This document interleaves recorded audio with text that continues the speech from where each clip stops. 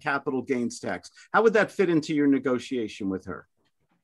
Uh, I would say, um, Suzette, um, so did you already uh, take the recapture on the depreciation? I think so. My accountant is supposed to do that, but I think so, yes. You think so?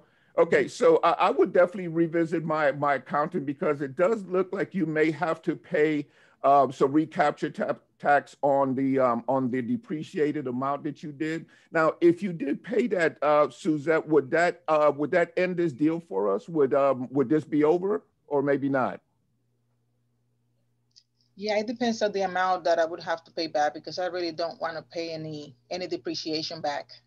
How soon can you call your accountant about that? How when can when can we close up on this? Um, you know, I'd like to have an answer one way or another. Um, I could probably call her today to see if they can answer me today.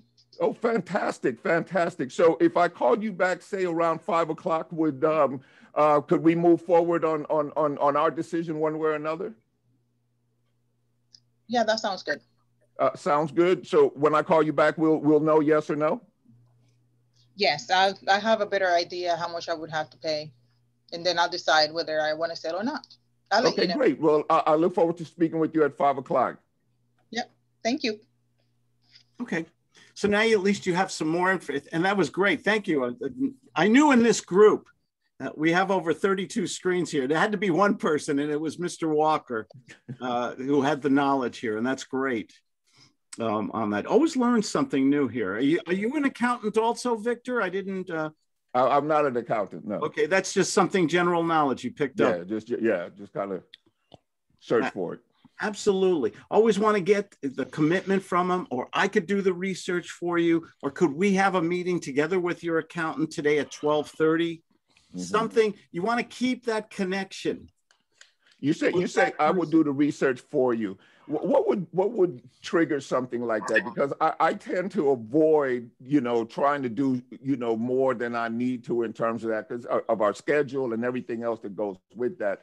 I mean it would have to it would have to kind of be a payday situation for me right? You you answered your own question. Is it a, is it a $500 day or a $50 thousand dollar day. Do you yeah. is it a bad month and you need five thousand dollars and and this person might help you to get there?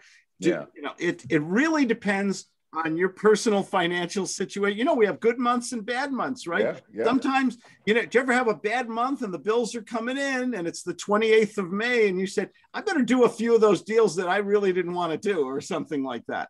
Ooh, that's a, that's so good. That's good. You know, you know it's a, it's really a, a, judge i wish you know everybody wants those uh, what do they call it? The cookie cutter method. Can we mm-hmm. really use a solid template for all the deals all the strategies all the negotiations? Can we really put it down to one template? No. I wish we could. i wish we could. I wish we could. It's really subjective and um, it depends uh, see the thing i look for is the commitment word. Can i get that specific commitment a really hard commitment today. And I'm going to lean on her a little. Okay, when you say yes, you mean that if we can solve your depreciation problem, you and I can do a deal for $500,000. You hold a $200,000 note. I refinance your $300,000 or take over the payments. And we, you're the only person on the contract. So I can send you a DocuSign today. And uh, by 4.30 this afternoon, problems are solved. Is that correct? I might, that is, part of your closing technique has to summarize everything and get that specific commitment, either another meeting or a commitment to do the deal if or something like that. I want to know like, we're not wasting our time.